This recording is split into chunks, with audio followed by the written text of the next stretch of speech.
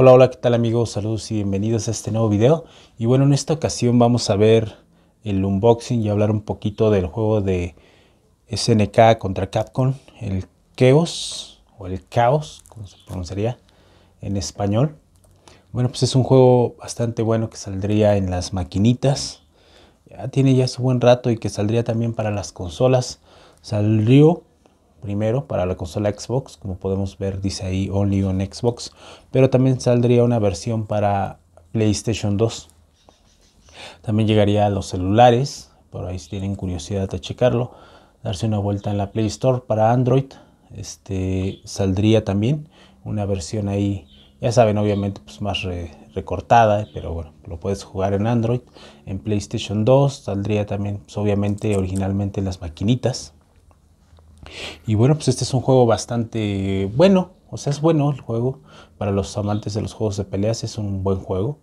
Que tendría sus, sus primeros pasos en Capcom contra SNK y Millennium Fight. Y después este, Capcom contra SNK 2, el, juego, el título, ya no recuerdo el segundo título, pero bueno, es, es ese es el Capcom contra SNK 1, Capcom contra SNK 2.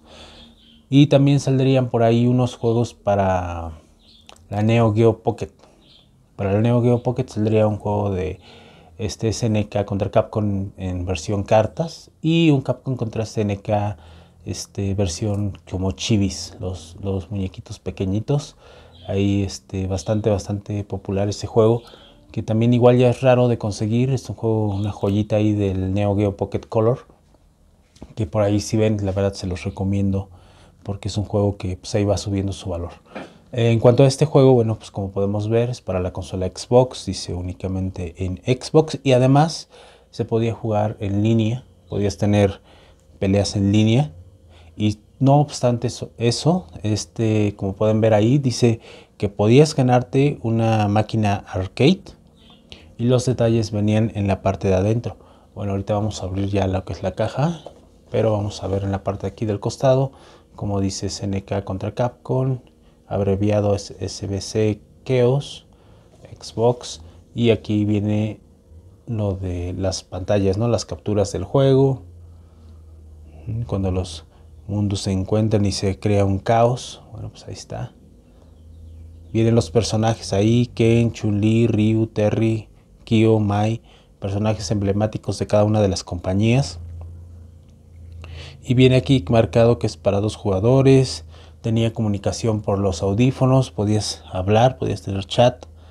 O sea que podías ahí estar alimentando a la mamá al otro que te estuviera trabando. Y obviamente en este juego lo que cambiaba de los primeros dos juegos de Capcom contra SNK era que en ese ya era uno contra uno. En el, en el primer juego podías jugar uno contra uno, dos contra dos, hasta tres contra tres, es más hasta cuatro, podías utilizar hasta cuatro personajes contra uno solo. Eh, se dividía en ratio, en el ratio dependiendo del personaje más fuerte tenía un ratio de nivel 4, podías usar un solo personaje de ese nivel, obviamente pegaba mucho más fuerte, o unos personajes de ratio de nivel 1 y podías seleccionar hasta cuatro personajes de esos. Pues aquí cambiaba y solamente era uno contra uno, ya no era de, que yo escogía cuatro y tú uno, o yo dos y tú tres y así. Y aquí ya uno contra uno, y siguiendo las reglas clásicas del juego, por así decirlo. Vamos a abrir la caja.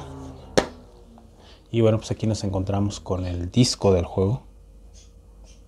Ahí está, en portada obviamente, tanto del manual como del disco. Vemos a Ryu y a Kyo los personajes principales, por así decirlo, de cada compañía en cuanto a juegos de pelea, no, no en cuanto a este, que las representen totalmente, pero Ryu sí es, un, emblema de Capcom. Y pues Kyoko Kusanagi se volvió, se volvió perdón, un emblema de, de Kino Fighters, ¿no? O sea, todo un personaje, al igual que Yori Yagami, que también igual vino a robar muchos corazones. Y bueno, pues aquí está lo que es el manual y lo que es el disco. Como pueden ver, el disco tiene ahí una serigrafía muy padre, unos hologramas para que veas que es completamente original. Ahí lo pueden ver cómo brilla. Y bueno, en el manual, que si traía un manual pues decente en aquellos tiempos, como pueden ver. Y el manual viene a colores. O sea, viene a color un manual muy padre. Ahí pueden verlo. Y pues obviamente el índice donde nos dice los comandos básicos, las pantallas del juego, todo, todo antes de comenzar el juego, las prácticas, los comandos, eh, los estilos de juegos que vienen, de Survival Mod, el Gallery Mod, que se obtiene, se obtiene jugando el Survival, el Color Mod para editar los colores de los personajes, Replay Mode, el Xbox Live para jugar en línea y por ahí los personajes y los movimientos, ¿ok? Esto es lo que vamos a ver ahorita. Por aquí algo para que sepas de lo que se va a jugar en línea. Aquí ya venían los controles, ahí lo podemos ver. Nos muestran obviamente una imagen del control con cada uno de sus botones y para qué sirve. Además, unas pantallas, unas capturas de pantalla en donde también igual nos muestra cada una de las de lo que viene, ¿no? De lo que vamos a ver, por ejemplo, el conteo regresivo, las barras de vida, el nombre de los personajes, a la parte de abajo las barras de poder, bueno, pues todo lo básico, ¿no? Todo lo que cualquier jugador de, de juegos de pelea, pues ya se la sabe, ¿no? Ya se la saben. Por aquí ya dice comenzando el juego. Pues en la pantalla para seleccionar qué tipo de juego quieres, obviamente el clásico que es el arcade. Y de ahí ya se iba pues, a ver el modo survival, práctica. Las pantallas de los personajes. Me muy buenos personajes, la verdad. Aquí vamos a ver.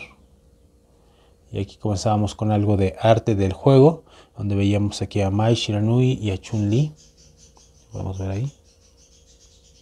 Una rivalidad que, salió ahí de estas dos hermosas personajes de cada compañía. Mai, ya saben, su atractivo, su pechonalidad, y de Chun-Li, pues ese par de troncos que tiene como piernas. Pues ahí estaban, seleccionados tu personaje favorito. Ok, acá teníamos pues, lo de los comandos de batalla, lo de las barras de poder, cómo se dividía nivel 1, nivel 2, el nivel máximo que era el 3, en donde ya podía sacar superpoderes. A ver, pasamos por aquí, las opciones del juego. A ver, vamos a ver algo más interesante. Ah, opciones, opciones. Aquí otros dos personajes que es Shiki y Sagat. Ahí los pueden ver.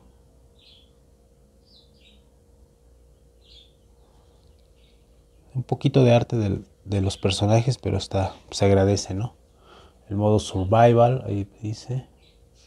El modo de galería, donde podíamos ver ilustraciones de los personajes que íbamos este, derrotando en el modo survival.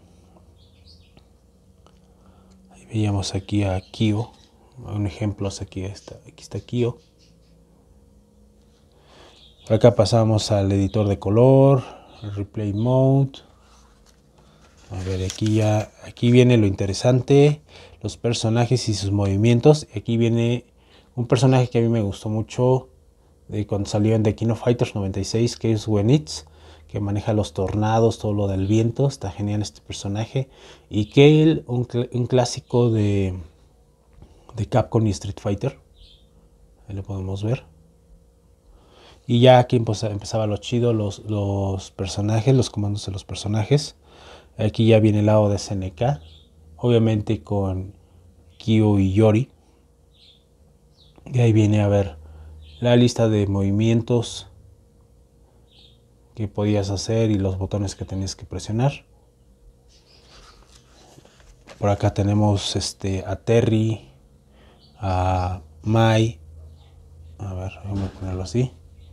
Del lado, a ver, a Terry, a Mai, a Kim, a Choi, el enano este de Choi, a Ryo Sakazaki, a Kazumi Todo, Kazumi que también era un personaje que ya me había olvidado un poquito, la hija de Todo, de que saldría su papá en Arrow Fighting, Mr. Karate, también un personaje de Arrow Fighting, que ya sabemos que es este Takuma, Earthquake, que es un personaje de Samurai Shadow, igual que Genjuro Kibagami, Shiki, esta chica también está bastante padre.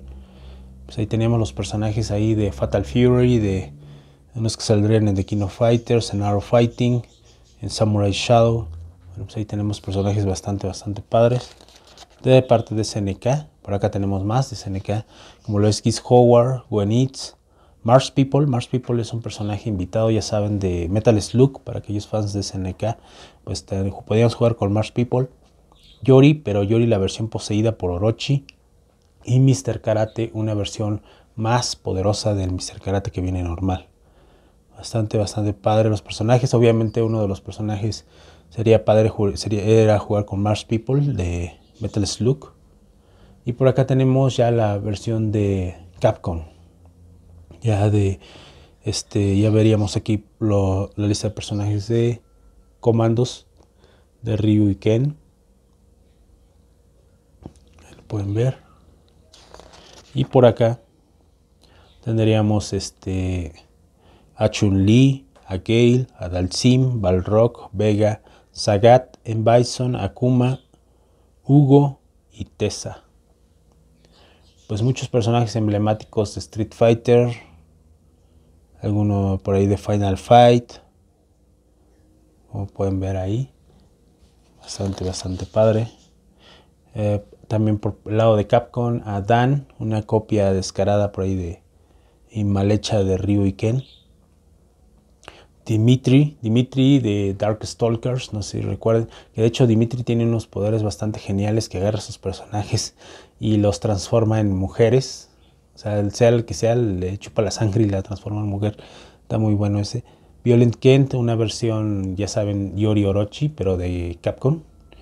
Uh, Zero, un personaje de, que viene de, por parte de Mega Man. Y Shin Akuma, ya saben, una Akuma más fuerte que también igual veríamos por ahí en varios juegos. Aquí ya viene propaganda, que es lo de la guía, saldría una guía oficial de SNK contra Capcom por parte de Brady Games. También veríamos aquí lo que nos muestran en la portada de la caja, que es lo de ganarse una maquinita arcade en aquel tiempo. Y dice aquí, todo lo que tú buscas es SNK contra Capcom, ve directamente hacia www.snksweeps.com y vas a tener una oportunidad de ganar. Nos dice que el primer premio es una maquinita arcade de SNK contra Capcom.